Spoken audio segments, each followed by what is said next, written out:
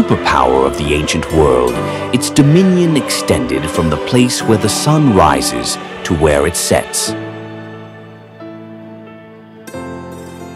In the dusty pages of history, when the calendar showed 133 BC, the mighty king of the Pergamon kingdom, located in the northern Aegean of modern-day Turkey, Attalus III, closed his eyes for the last time.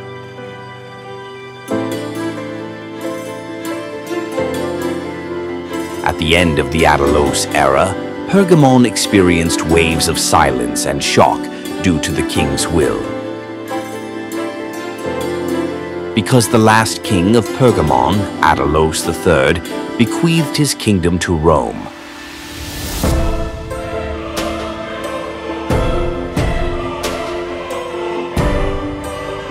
This was an unexpected move. Rome couldn't believe that Pergamon's lands were left to them. Despite trying to enter Asia Minor, Anatolia, for a long time but postponing it due to continuous wars, expenses, lack of resources and provisions, Rome took Pergamon without shooting a single arrow.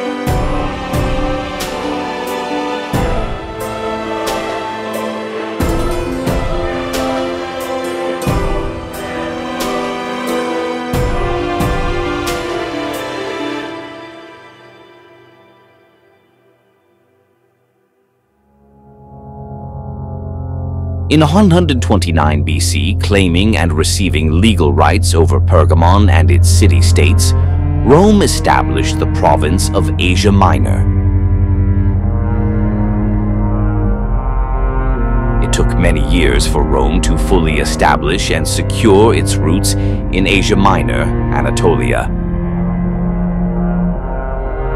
over the ensuing years, thousands of citizens from Rome migrated to cities in Asia Minor such as Ephesus, Pergamon, Miletus, Smyrna, and Sardis.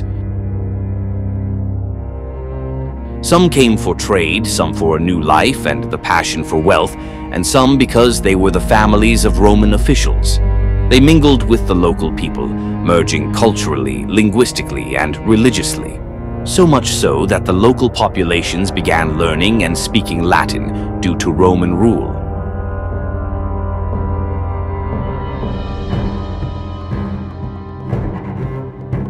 However, Rome was a state that was never satisfied with war and new resources. Therefore, it collected taxes from the cities and peoples under its rule, and could raise taxes due to continuous wars.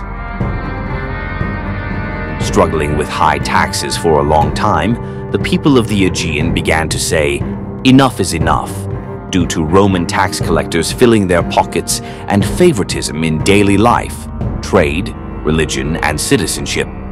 The knife had reached and even cut the bone. Of course, every hero has their own way of dealing with things. Rome, which had been in conflict with King Mithridates Sixskin of Pontus for a long time, had never considered this powerful king. Mithridates was a strong leader, having grown up in the harsh winds of Anatolia, who wanted to establish dominance over Asia for a long time. He started a plan to take advantage of Rome's high oppressive rule over the people of Anatolia. Sending messengers to Asia, he declared that he would campaign over Asia, asked for support, stated that it was time to get rid of the Romans, and that the prominent people of the region should follow his orders.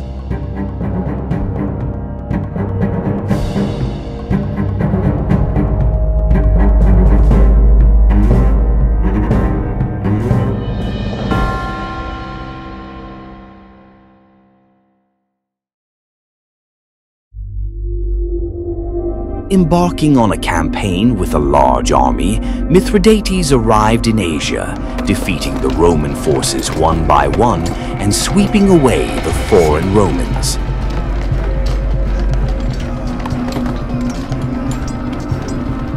The people of Asia increasingly pinned their hopes on Mithridates and sided with him. After the wars, Mithridates entered Ephesus with great splendor and was greeted with celebrations.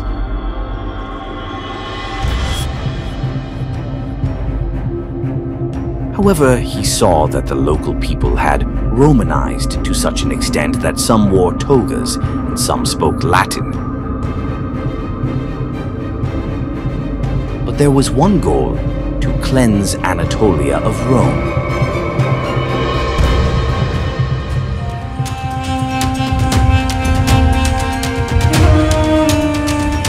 Mithridates, who was determined to take revenge, assessed the situation and planned with the people of Ephesus.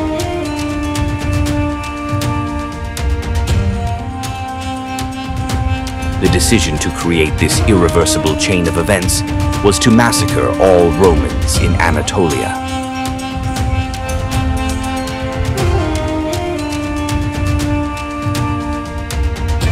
The sun set in Ephesus as usual. Evening came, and everyone withdrew to their homes. It was an ordinary yet quiet evening.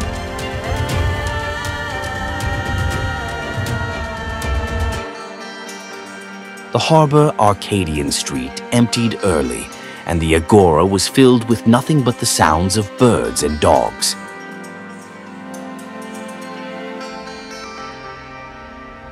As night fell over the narrow streets of Ephesus, the city's residents fell into a peaceful sleep.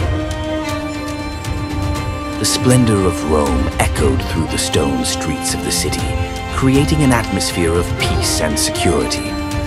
However, this peace was nothing more than the calm before the storm. Mithridates' plan had taken shape in the shadows of Ephesus and found resonance in the hearts of the Ephesians burning with the fire of revenge. Night, it seemed even the stars were hidden. Mithridates' soldiers lay in ambush all over the city, waiting silently. The only sound echoing through the stone walls of Ephesus was the eerie hooting of owls breaking the night the city seemed to take a deep breath on the brink of a great change.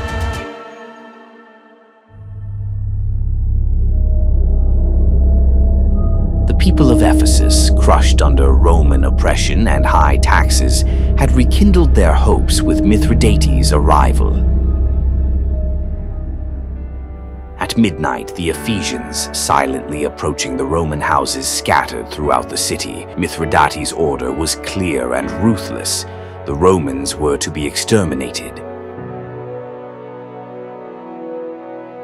With sudden echoes of terror, screams echoed off the stone walls, shattering the silence of Ephesus. Roman women, screaming to protect their children, tried to flee, but merciless swords found them too. The streets of Ephesus were filling with the bodies of Romans.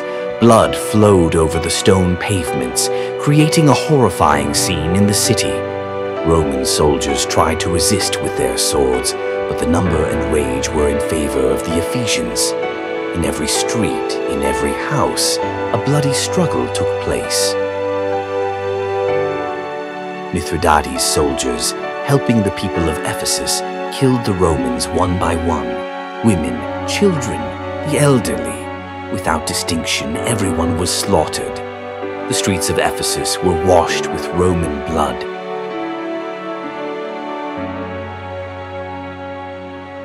Some Roman civilians who used their wits and had enough time disguised themselves by removing their togas, Roman clothes and ornaments, and thus very few escaped. However, even the slaves joined this rebellion, exposing their Roman masters and participating in the massacre themselves, as the Pontic king had promised them freedom. Roman tax collectors were killed by having molten gold poured into their mouths. Those trying to enter the Temple of Artemis which offered sanctuary by fleeing along Artemis Way from the front of the Great Theater, were not admitted into the temple. Those who did manage to enter were the first to be expelled and killed right there. The priests of Artemis could do nothing but remain silent. The streets of Ephesus, in front of the houses, the marble city and its streams were painted red. The silence of a summer night was suddenly filled with noises, and then gave way to boundless silence again. The night seemed endless for those who lived through it. Dawn was not breaking. The events did not cease, but every night has a daybreak. The dawn broke, and the shimmering rays of the sun from the east slowly struck the marble buildings of Ephesus. For those who survived the night, the scene was terrifying. The city had turned into a graveyard. The bodies of the Romans filled the streets, the stone pavements covered in blood. The people of Ephesus had taken the revenge they had long waited for, but this revenge deeply affected them as well. The smell of blood and death pervaded the city, carried by the soothing breeze from the sea. The events had not only taken place in Ephesus, but in many cities across Asia Minor. Hundreds of thousands of Romans were killed in one night. In Ephesus alone, there were 80,000 dead.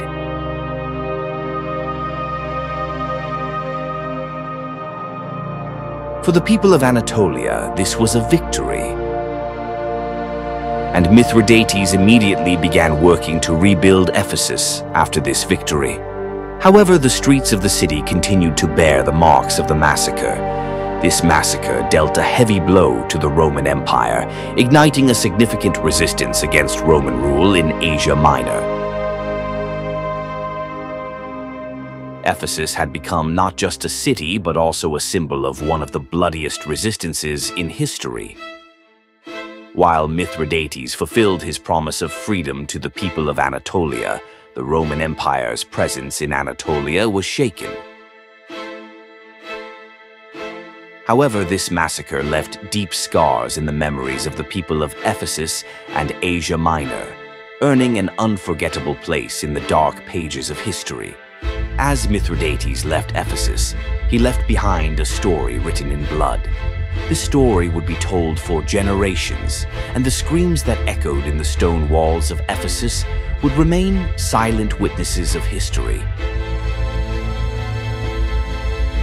Thus, the Ephesus massacre took its place as an unforgettable story of blood and revenge in the dusty pages of history. History tells us not only stories of victories, but also of losses and sacrifices. The Ephesus massacre is one of these brutal truths However, this tragedy also shows how strong and resilient the human spirit can be. The people of Ephesus, standing against injustice and oppression, emerged as symbols of courage and resistance on the stage of history. Time beyond victories and defeats holds the collective story of humanity. The painful screams echoing in the streets of Ephesus remind us of the value of justice and freedom. These dark moments of the past will become a beacon of hope for the future, will be told for generations, and will never be forgotten. 2,000 years have passed since then. When you go to Ephesus, reach out and touch a marble. The city still has countless untold stories, and every step you take, every sound you make, on the marble streets and buildings will follow you.